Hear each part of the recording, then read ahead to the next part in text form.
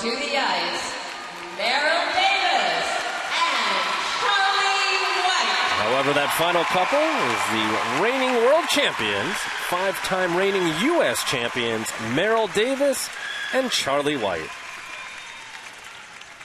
And the great, greatest part about this program is just all of the nuances and all of the finite details from their fingertips to their head positions. They're really trying to maximize the potential of this program.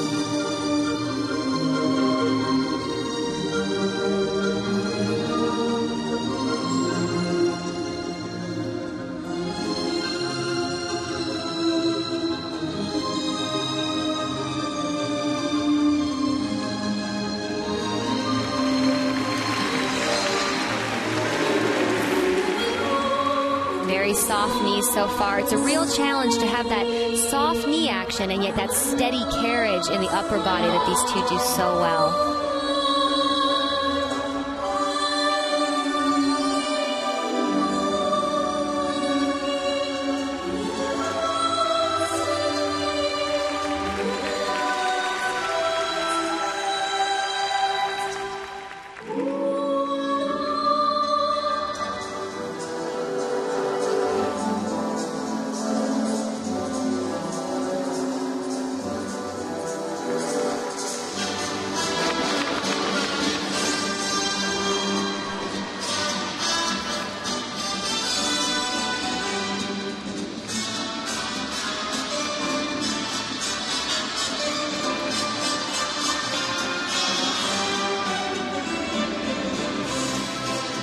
As I mentioned, the head and the variation, the arm positions, these two are one of the only ones in the competition to continue to keep the character of their dance throughout this difficult pattern dance element.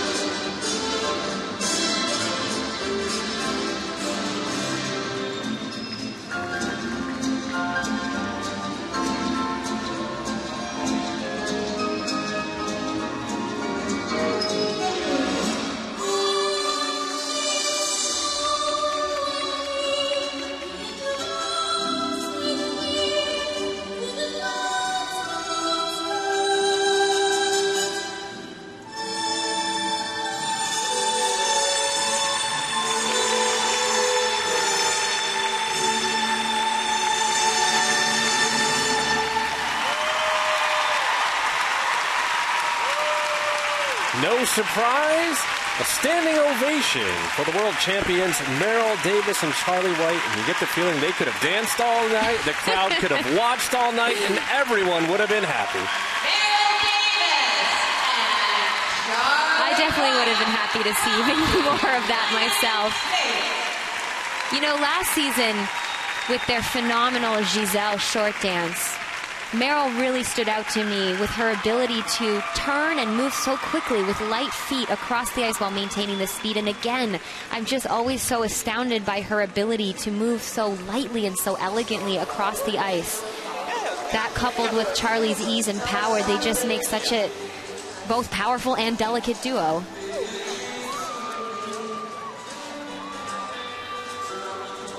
We'll take a look first at the midline no touch sequence.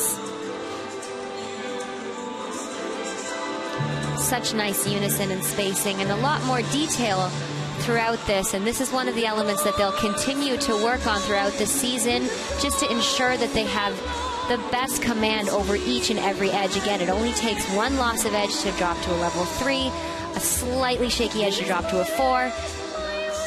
But this was just so well done. And again, the detail and the spacing, it's these kinds of things that make them world champions. some of it's hard to grasp and some of it's easy to see. Now we're looking at the second half of the Finnstep again. The, the, detail in the head, it only exaggerates the timing and the fact that they are so on top of the beat. We talk a lot in dance, especially with fast tempos, about being on top of the beat. And if you imagine a beat as being a, a measure, you really want to make sure they're at the front of that beat, and these two are right on top of that timing the entire way through. And this is one of the elements that's been changed since their last event in Salt Lake City, the final lift with a change of position. And I want to point out how difficult it is for Charlie to turn while maintaining Meryl's leg across his lap. We very rarely see the men having to deal with that obstacle. And we take a look at their mothers, Cheryl and Jackie. Must be so proud and happy. Absolutely.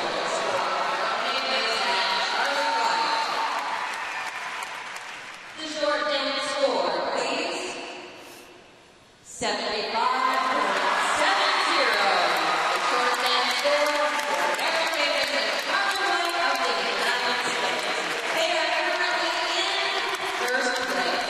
a 75.70 for the world champions in their short dance. Davis and White in the United States. Right to the top of the leaderboard. First place by about six points ahead of Cappellini and Lanotte of Italy. However, that does mean that all three U.S. couples will be in the final group tomorrow in the free dance as we take